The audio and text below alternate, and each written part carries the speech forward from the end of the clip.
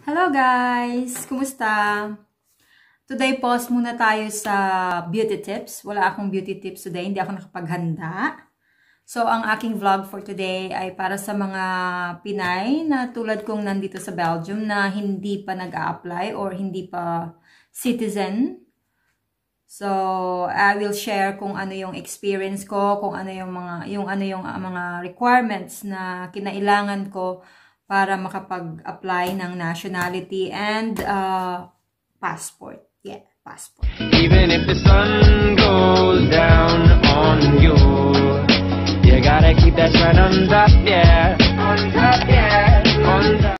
So guys, so yun nga, uh, pause muna ako sa beauty tips. Wala akong napaghanda ang beauty tips sa inyo today uh, naisip ko, uh, ituloy ko muna yung mga, so sa mga nagfa-follow na mga nandito sa Belgium or yung mga gustong pumunta ng Belgium, yun muna ang itutuloy kong topic natin.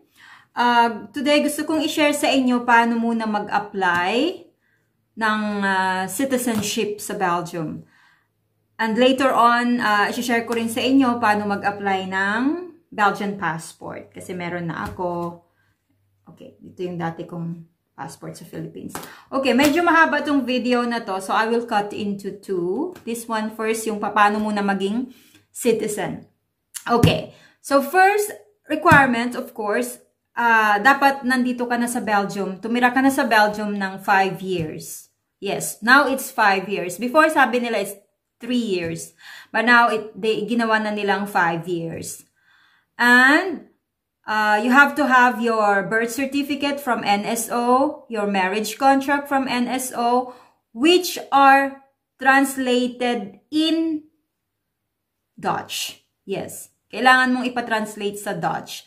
Yung, yes, I think, yeah, Dutch. Of course, if you are applying, kung nasa, nakatira ka sa Vlaams Brabant, uh, dapat i-translate mo sa Dutch. I don't know ang requirements sa, sa French side. I'm talking about uh, application if you live in Vlaams Brabant, Belgium, ha? Magkaiba, magkaiba siguro ang requirements, I'm not sure. Anyway, sa Vlaams, sa mga taga Vlaams Brabant, and if you, yeah, ito yung mga dapat nyong gawin. Uh, birth certificate, marriage contract, uh, proof na nag-study ka ng language, uh, kasi pagka the pagka nag uh, you have to study the language. Yeah, it's a must. You have to go to school para mag-aral ng language. Ako I studied and up to ay school ang damit ko. Parang masyadong kita naman yung privilege ko. Okay. Nag-study ako ng language nila hanggang 4 levels. So, natapos ko ang 2.4. Uh, another discussion yung tungkol dyan if you are interested. So, every time na matatapos mo yung every level, magbibigay sila ng certification. So, you have to keep that kasi kakailanganin mo yan pag nag-apply ka ng passport, ay, ng, ng nationality. And also, yung inburgering. Uh, ito yung pinapadala nila sa iyo pagka na, dumating ka na sa Belgium within a month, I think, or two papadalhan ka nila ng, ng letter na that you have to study in burgering. So, ano ba yung in burgering? Ito yung uh, pag-aaralan mo yung papaano ka mamuhay sa Belgium, yung pag-aaralan mo yung culture nila, pag-aaralan mo yung rights nyo, rights mo, yung mga taxes, everything about living in Belgium. Yan yon.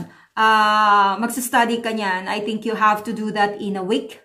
Yeah, it's free. Don't worry, it's free uh, provided nila everything. Just attend. Wala kang iintindihin doon. Meron pang free coffee, free soup, free book, free notebooks. Lahat. It's nice. It's fun. You will be meeting a lot of um, people also from other, from different countries. Mamimili ka rin ng mga languages kung anong gusto mo siyang i-take.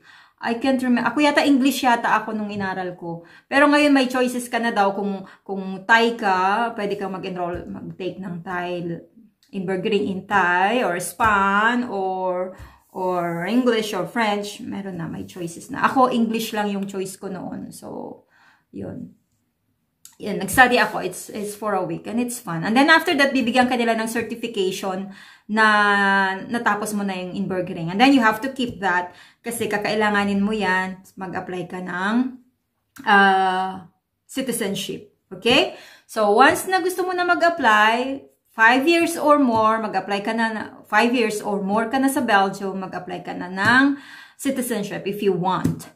Uh, and then just go to the Gemente, yung Gemente parang munisipyo sa atin, just inquire whatever, what else they need. Kasi ako, ang natatandaan ko, yun lang yung kinailangan ko. Kina, kinailangan ko din yung, uh, ano yun, yung annulment ko before, lahat-lahat. And by the way, guys, yung paper na ipapa-translate mo sa Dutch, kailangan ito yung paper na NSO and also certified ng DFA sa atin and certified sa Embassy of Belgium, yung meron nakalagay sa likod. Yun ang dapat na nire-require nila. Hindi po pwede yung from NSO lang, from DFA lang. Dapat lahat yon NSO, certified sa DFA, and then certified sa Belgian Embassy. So, yun yun. Dapat ganon. It doesn't matter kung expired na. Basta, basta certified ng, ng, ng Belgian Embassy. So, yun. Importante yun, by the way. Dapat kung i, i, i, i-take, dapat nyo i-take note yan. Kaya nga sinasabi ko sa inyo before, pag nag apply kayo ng, ng visa pa lang, sa una, i-keep nyo yung mga requirements nyo. Or if possible, magpa-certify kayo ng 2 to 3 copies. Kasi you will need that kapag mag apply na kayo ng uh, citizenship. Okay? So, yun lang. Uh, i-interviewin ka kaunti, tatanungin ka lang ng doon sa Gemente pag mag, magsasubmit ka na And then, ah, okay. Ito pa, sa ating mga Pilipina, halimbawa, meron kang, wait lang, ayusin ko, yung. Excuse me. Meron kang anak na dinala sa Belgium. Uh, well, if they are below 18 years old, automatic Belgian citizen sila. Kapag anak mo to sa, sa first marriage mo from Philippines, yeah? Automatic ma- madadala mo sila na kung ano yung nationality mo na Belgian ka, then Belgian citizen, magiging Belgian ka, automatic yung mga children mo who are below 18 years old, automatic Belgian na din sila. And pwede mo din silang isabay sa application mo. Ang kailangan lang is their uh, birth certificate na translated in Dutch. Okay? So, yon automatic. Pero kapag uh, above 18 na, no, they have to apply separately. Pero of course, yung, yung anak mo sa sa asawa mong Belgian, automatic sila yan. Uh, they acquire yung Filipino citizenship and Belgian citizenship. Like si Femke. Si Femke, automatic dual citizenship na siya. Okay? uh, I don't have to to apply for her. So yun lang yun nung gusto kong i-share sa inyo guys kung gusto nyong mag-apply ng na maging Belgian citizen. Uh, yun lang. Yun lang yung requirements na kailangan nyong i-provide. And then they will uh, interview you and then wait until I'm not sure. Two, three months I think para ma-approve. Ma pero be ready because they will also check on you. They will uh, check, yeah, kung paano yung, paano kayo as family, I think. I don't know, kasi hindi yun sinabi sa akin sa Gimente. Basta na lang one time may pumunta na pulis dito sa bahay. naloka, naloka si asawa ko kasi may kumatok na pulis. Tapos sinahanap ako. Ay di, eh, eh, yung asawa ko naglilinis noon eh. Tapos ako nagluluto super busy ako nagluluto dito. Kalat-kalat pa yung kusina ako. Tapos may pulis. Alam mo kinakabahan ako, inisip ko kaagad, ay, anong ginawa ko? Parang, kasi kinabahan din yung asawa ko, hinahanap ako ng pulis. Tapos sabi, andyan ba daw si Dar Darlene Verhoeven? Tapos, pulis. Bakit may pulis?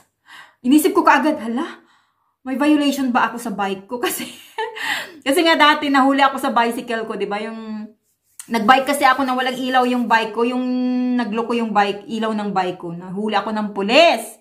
Kaloka, nag-fine ako ng 50 plus, 50 plus euros. So, inisip ko, ano bang violation ko kaya yung bike ko ba? Ano, ano, wala naman akong ginawa. Super, alam mo yun. Kaloka. Kasi dito parang allergic ako sa police. Kasi hindi lang magpupunta yan sa police pag wala kang, there's no reason, you know? So, nakalimutan ko, ah, yung nga pa nag-apply ako ng nationality. Ayun, tinanong, interview lang konti. Ano, gusto mong maging national ng Belgium? Gusto mong maging Belgian citizen? Ganyan, ganyan, ganyan, ganyan. Tapos, pero, I think, um, yan, just to check kung, kung talagang nagsasama pa kayo, kung okay yung family nyo, kung talagang uh, married pa ka, I mean, yeah, you're still living together. Kasi ako, nag-apply ako, uh, na yun nga, ginamit ko yung pagiging married ko kay Eve and also of course qualified na nga kasi ako kasi nga Belgian, uh, I'm here in Belgium for, for more than five years. So ayun, uh, yun, konti lang naman, konting tanong-tanong lang. Okay naman, okay naman yung, yung police. Nagtanong niya lang kung bakit gusto kong maging citizen. Anyway, So, yun yung experience ko. And also, you have to speak Dutch, by the way. You cannot go there speaking in your language, in, in Thai or... Uh, no, I'm sorry. I don't know about Thai. Uh, Tagalog or French. No, French also, you have your own. I am just talking about how my experience living and applying in uh, Vlaams Brabant. So, magkaiba. Baka magkaiba ng, ng requirements sa Vlaams and sa sa Wallonia. So, I don't know about Wallonia, sa yung French side. So, ito lang yung sa mga nakatira lang ng ng uh, Vlaams Brabant, ito yung mga dapat yung gawin sa mga gustong mag-apply. Yon, ganito lang. Parehas lang siguro, parehas tayo kasi kaka-apply ko lang. I think a uh, few months ago, nag-apply ako ng uh, citizenship ko.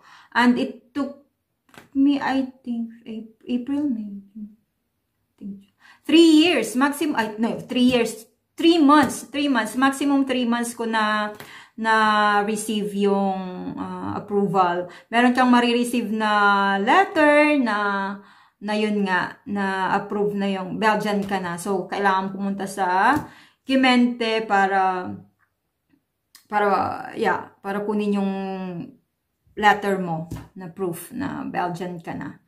Okay, so I think yun lang. Yun lang naman yung mahalagang dapat yung malaman. Kaya, I don't know if I have mentioned before na kung pupunta kayo dito, dapat may mga extra requirements kayo ng birth certificate and marriage contract. That's very important. Annulment, then proof of annulment, then if you're annulled, or everything na mahalaga sa inyo nung nag-apply kayo. Make sure you have extra copies kasi nga kakailanganin nyo ulit pa yan dito.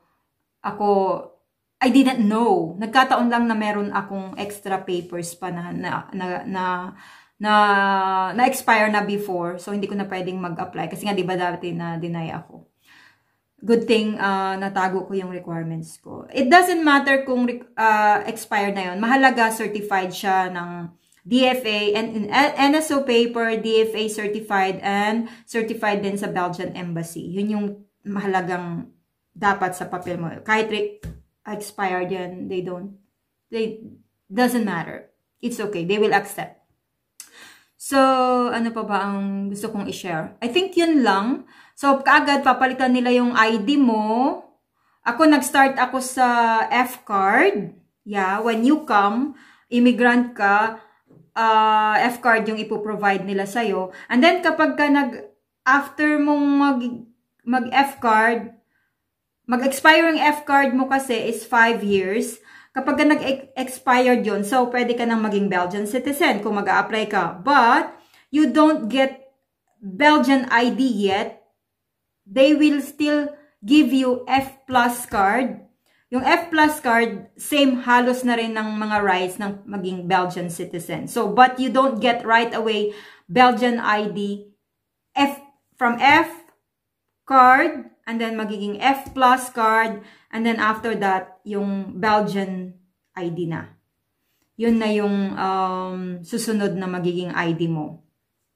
So, anyway, yun lang guys. Uh, masyado nang mahaba kung pag-iisahin ko yung video ko. Kaya, i-cut muna natin to. Sa pag-apply muna ito ng citizenship. And then, kung gusto mong mag-apply ng passport later on, pwede din after pwede na rin isabay. I mean, pwede mo na rin pagsabayin. Pinagsabay ko ba? No, no. Nung nakuha ko yung nakuha ko yung citizenship ko, nagsaka ako nag-apply ng Belgian passport. Okay guys, thank you for listening. So take note yung mga sinabi ko sa inyo. Don't forget. And see you.